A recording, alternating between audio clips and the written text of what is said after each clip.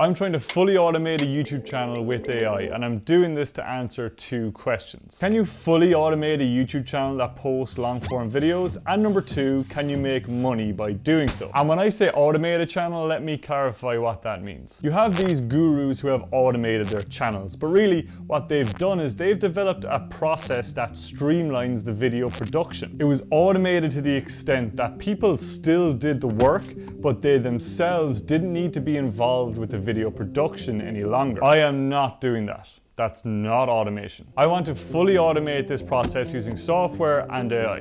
No humans involved whatsoever. You see, if we can develop this process successfully, we've basically developed a money printing machine. Because the bottleneck to scale for a YouTube channel is people. With software, you don't have that problem. No limit to scale.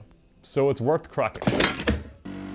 The first challenge is going to be coming up with a channel, a strategy, and a plan. And you always do this before you start a YouTube channel. AI is smart, but not smart enough to develop videos like this.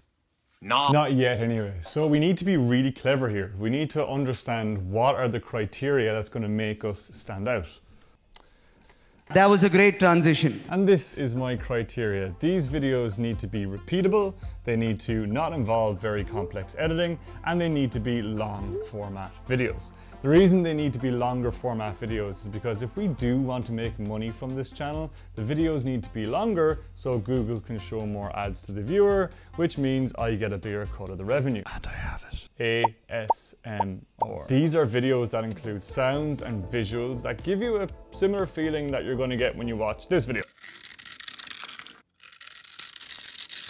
These videos get millions of views, they are very long, and most importantly, they are repeatable and predictable. And this video product is one that allows me to get recurring attention. Now, the only way we're really gonna win here is if we develop content that people are going to watch. So I need to figure out how we're gonna stand out from the crowd. You see, ASMR exists in various different markets, and I'm never gonna be able to get AI to compete in the market of soap carving. But there is one market that I can compete in quite well trigger words. This is a type of ASMR where people repeat words in different ways and it's supposed to sound soothing. And this is something I can do with AI. So now I need a strategy and I need a plan. You have to do this before starting any channel, otherwise you're wasting your time. I did a full video on this previously, so let's go back and listen to what I said. A strategy is how you aim to capture the attention. A plan is what you do to execute that strategy and measure its effectiveness. Thanks Dara from the past. This is what I have planned for this AI ASMR channel. The format are going to be videos between 15 and 20 minutes long.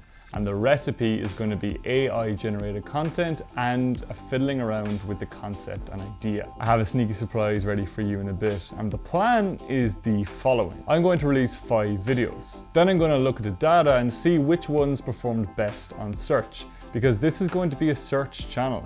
And what I'm going to do is I'm going to iterate on that process, find out which videos worked best and repeat until I have a format that works. Or until I have what I call video market fit. I took that from absolutely no startup lingo. Okay, enough theory, let's put this into practice. The first thing I needed to do was develop one of these videos myself manually so I could then preempt any issues that the AI might face. These are the four blocks I was running through to create the video. First up, we have the packaging. Now the titles I'm going to do myself, but for the thumbnails, I'm going to use prompts on Midjourney. I used some of these prompts and I came up with some pretty nice images, if I do say so myself, and I think they are ASMR worthy, so I'm going to use them. Now onto scripting. Okay, this is the part that I had to get really inventive because I don't know a lot about ASMR myself, so what I did is I went online and I found 10 trigger words that people tend to, you know, get off of. what I did is I then fed those words into ChatGPT to generate more words that I can use for my script. But here's the catch. They can't be real words. They can only be fake. I'm doing this because it's a little bit different to anything else out there. Plus, it doesn't make sense of you listening to real words while trying to relax. If you're listening to made up words, you can just dissociate yourself from them and you can, you know, get the best session possible. So this is the idea that I'm going to test out. What I'm going to do is I'm going to run this ChatGPT prompt. Okay, nice. Now we got to turn this to audio. Okay, so I've got my script and now I'm going to use ElevenLabs to create the voiceover. Now because this is ASMR audio based content, I really need to make sure that the audio is good. And by good, I mean pleasing to the ear. Let me just get up a sample ElevenLabs voice so we can hear it. Dara is a legend.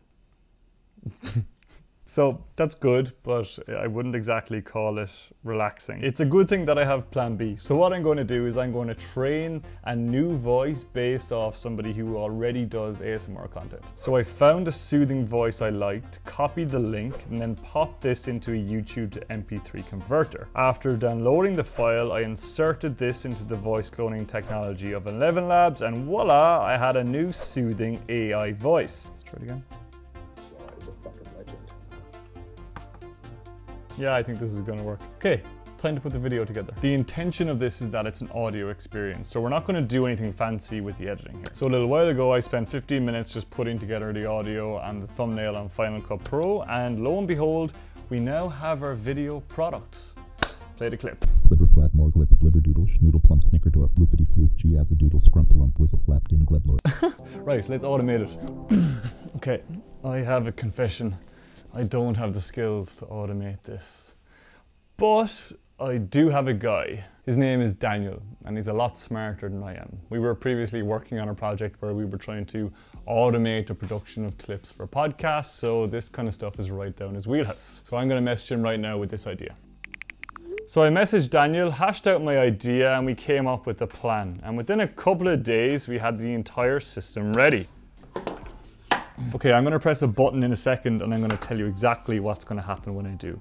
When I press that button, a message is going to be sent to Daniel. Once I do this, Daniel is gonna run a Python script, which will send a command to ChatGPT. ChatGPT will then generate us that script, which will then automatically be sent to ElevenLabs to do the voiceover. The thumbnail that we've already produced is then going to be combined with the voiceover on Premiere Pro and then exported. Once exported, this video is going to be automatically uploaded to my YouTube channel on private, ready for me to release it. Here we go.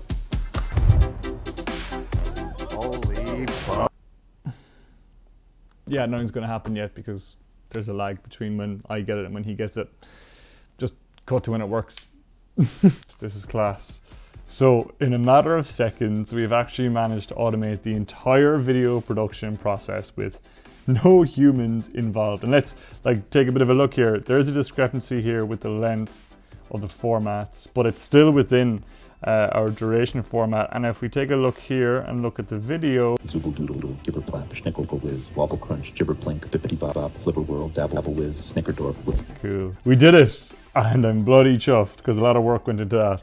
But we've answered the first question. You can fully automate a channel using AI. No humans involved. So the strategy is now underway. Time to execute on that plan and see if we can actually make money with this. Let me schedule these, change around some of the titles and keywords, see which ones perform best, and we'll give it a week. Okay, so while we wait for these results to come in, let me give you three tips if you're planning on trying this yourself. The first tip is that for this to work, you don't necessarily have to automate it as much as I have. This stuff can get very expensive very, very quickly, and I'm just lucky to have a friend that can do this for me. If you don't have this resource, I would do this process manually yourself until you know you found video market fit. Yeah, it's gonna take you a little bit more time and it's not technically automated, but once you do find that fit, you can then be confident to put the money or the resources behind that software to scale it up. Tip number two, the most important thing in this entire process is the channel concept. If you don't have a repeatable and a predictable idea, you will not be able to scale the videos. And if you don't have a unique idea, you are not going to be able to produce videos that will help you stand out. The bar on YouTube is ridiculously high right now. So if you decide to do documentary level videos,